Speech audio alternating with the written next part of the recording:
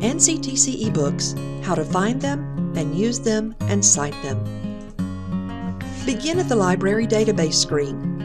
To understand how to get to this point, please view the video Accessing NCTC Library Research Databases While Off Campus.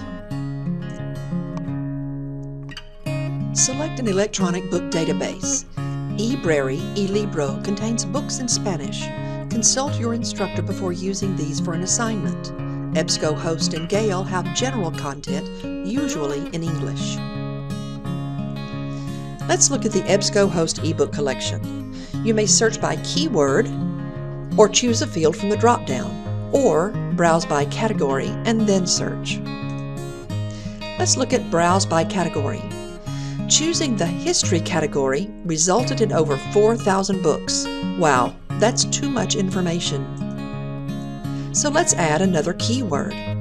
Adding Civil War reduces the results to 366. If we add one more keyword, women, now we have a very workable list of 27 titles, and that's better. Let's also look at the keyword search.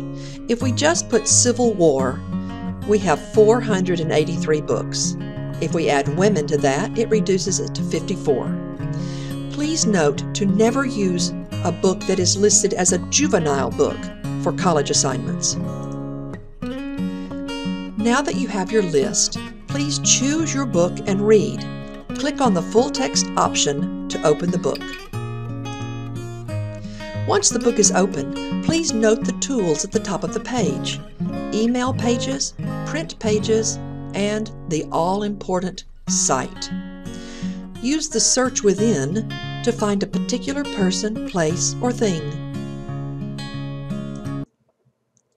Questions? Contact a librarian at Gainesville 940 668 4283, Corinth 940 498 6231, Bowie and Graham 940 872 4002 extension 5215, Flower Mound 972 899 8413.